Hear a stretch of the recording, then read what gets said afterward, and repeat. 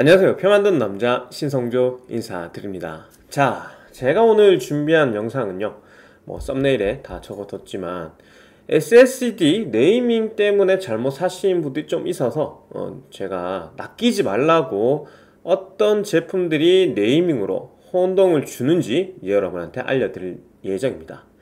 저장장치 사실 분들은 한번 주의 깊게 봐주시고요. 구독과 좋아요 부탁드리면서 영상 시작하겠습니다 일단 첫 번째 제품입니다. 이거 하 이거 진짜 잘못 주문하신 분 꽤 있는데 삼성 970 EVO Plus와 980을 한번 비교해 보겠습니다. 980은 980 프로라는 제품도 있는데 그 제품은 해당 사항이 없습니다. 좋은 제품이에요. 자 970 EVO Plus하고 980입니다. 둘 중에 어떤 제품이 좋아 보이나요? 누가 봐도 980이 늦게 나왔고 21년도 970은 무려 나온 지 4년 된 오래된 제품이고 어, 이름 자체도 980이 좀 더 상위의 네이밍을 가지고 있으니 어 980이 좋은 거구나 하고 사신 분들 꽤 많습니다. 가격 비교해 봤을 때 가격도 500기가 말고 1테라 기준으로 봤을 때는 980이 조금 더 비싸거든요. 비싸니까 조금 더 좋겠지 라고 생각하시는 분도 분명히 있다고요. 자 그래서 스펙을 한번 볼게요 일단 970 에버 플러스가 약간 더 쌉니다. 1테라 기준으로. 뭐 3,000원 차인데 큰 차이는 아닌데 어쨌든 조금 더 싸죠. 나오는 출시기 방금 제가 말씀드렸죠. 어 속도부터가 일단 970 플러스가 더 빠릅니다. 3500에 3200이에요. 근데 얘는 3100에 2600이죠. 그래서 980보다 970이 빨라요. 거기에다가 어뭐 랜드는 사실 있잖아요 수명이나 품질 뭐 아니면 속도를 어느 정도 올려주는 역할을 하지만 아주 중요하진 않습니다. 92단 118단 돼 있는데 적층은 980이 조금 더 돼 있습니다. 아무래도 늦게 나온 제품이니까요. 아, 둘 다 toggle 방식은 TLC로 QLC처럼 완전 싸구려틱한 어, 그런 제품은 아니고요. D램이라는 mapping 기능이나 cache 기능을 하는 어, 속도가 늦어지지 않게 많이 어, 도와주는 그런 D램이 970 EVO Plus는 있습니다. 근데 980은 없어요. 980은 없기 때문에 HMB를 이용해서 호스트 메모리를 가져다 씁니다. 그러니까 시스템 메모리 갖다 쓴다는 거예요. 이게 DRAM-less가 D램 있는 것보다 분명히 속도 저하가 심할 거예요. 이따 좀 이따 보시면 될 거예요. AS기간 5년 서로. 그리고 보증 수명은 비슷합니다. 그러니까 캐시 용량은 970 EVO Plus가 좀 더 적은데 별 상관없어요 얘는 이거 45기가 지나가더라도 속도 저하가 심하지 않거든요. 자 DRAM-less인 980 어떻습니까? 네. 보통 DRAM-less 제품들이 컨트롤러도 좀 더 꾸진 게 들어가 있거든요. 그러다 보니 속도 저하가 여러분이 100기가가 넘는 파일을 다운로드 한다면 크게 하락합니다.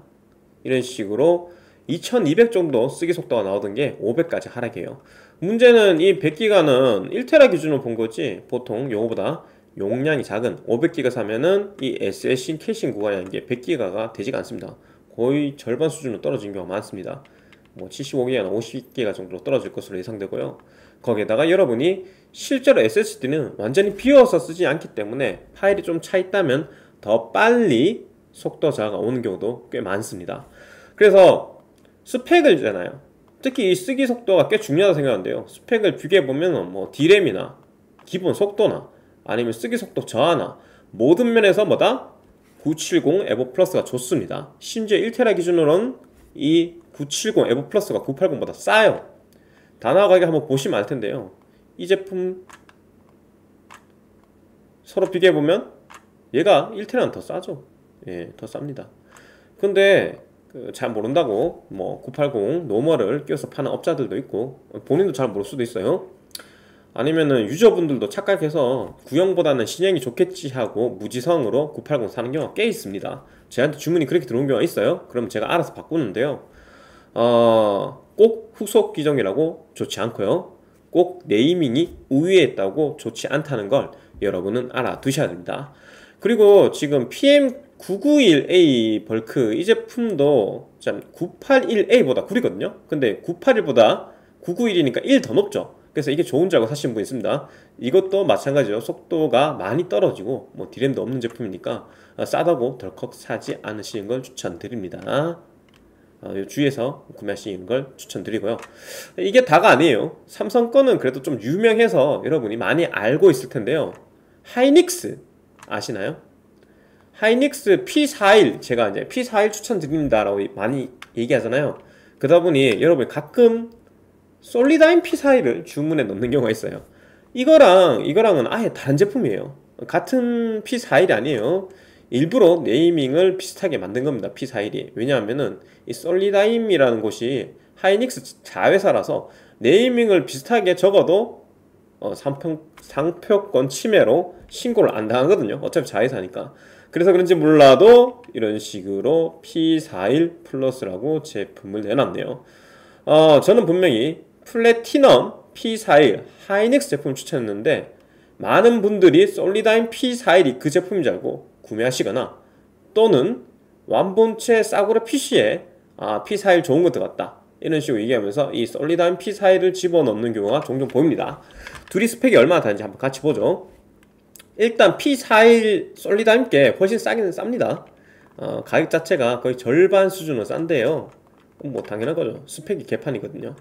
보시다시피 7000에 4700 정도 나오는 하이닉스 P41과 다르게 얘네는 4000에 3000 정도 나옵니다.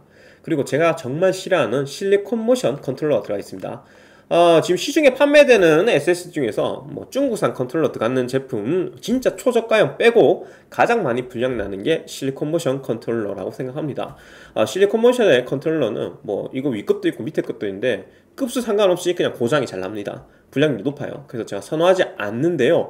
그 컨트롤러를 사용을 했습니다 낸드 같은 경우에도 스펙 차이가 좀 있어요. 하이닉스 낸드를 썼냐 아니면 인텔 144단 낸드를 썼냐.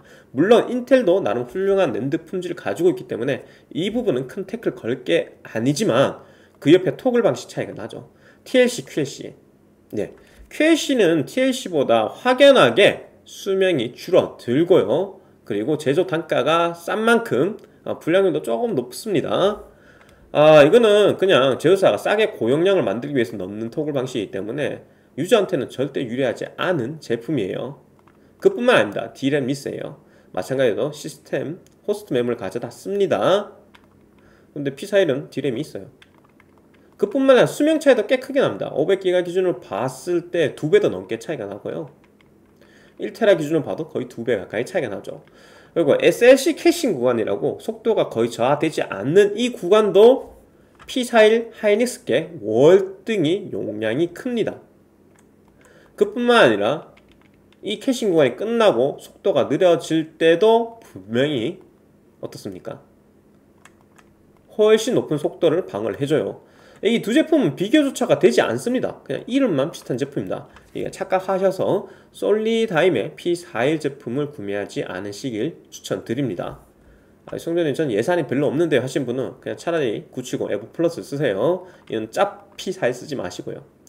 자, 그 다음은 조금 억울할 수도 있는데 아 참 이거 네가 근거는 있냐라고 하실까봐 아 내가 깜빡이고 표는 안 보여드렸네요. 여러분이 조금만 찾아주시면 탐스 하드웨어의 속도 저가 어떻게 이루어지는지 이런 표가 뻔히 나옵니다. 이 솔리다임 있죠? 솔리다임 2테라 어떻습니까? 빨간색 따라가면 됩니다. 아유 속도가 뭐 3, 400 사이 나오죠? 맞죠? 그리고 여기 고맙게도 하이닉스 P41을 넣어뒀습니다. P41은 녹색인데 보시다시피 여기 군에서는 속도가 제일 적게 저하되고 최대 속도도 제일 높게 나옵니다. 예, 그러니까 말 그대로 녹색 선하고 빨간색 선을 비교하면 되는데 비교 대상이 아닌 제품이죠. 예, 그거 알아두시면 될 것 같습니다. 여튼 그래서 저뿐만 아니라 뭐 980도 이런 식으로 볼 수 있어요. 970F 플러스가 무슨 색? 분홍색이거든요. 예, 분홍색 그래프 한번 보시고 분홍색 그리고 980 빨간색이거든요. 분홍색하고 빨간색하고 좀 차이 많이 나죠? 많이 납니다. 기본 속도도 그렇고 분명히 속도 저하고 나, 되고 난 뒤에도 그렇고 이것도 한번 같이 봐주시면 좋을 것 같아요. 아 그런 식으로 네이밍으로 장난을 많이 치는데요. 이번 제품 같은 경우에는 네이밍으로 장난을 쳤다기보다 여러분이 착각하기 좋은 제품을 또 하나 추천드릴게요. 어, Western Digital의 블랙 edition과 블루 edition입니다. 보통 Western Digital의 레드나 블랙은 매우 고가의 제품으로 생각하거나 고급진 제품으로 생각하시는 분들 많습니다. 하드 회사로 아주 뿌리 깊게 판매를 하고 있었고 SSD에서도 저런 이제 색상으로 더 윗급을 표현하는 제품이거든요. 좀 저가형은 그린 혹은 블루고요. 고가형은 레드 혹은 블랙으로 판매를 하고 있죠. 근데 이 블랙 edition인데 SN770이 음, DRAM-less입니다. 네, DRAM-less고 뭐 가격적으로 봤을 때는 메리트가 조금 있다고 볼 수는 있겠지만 사실 좋은 제품 아니죠. 속도도 그리 높은 편이 아니고 그리고 보시다시피 속도 저하도 꽤 있는 편입니다.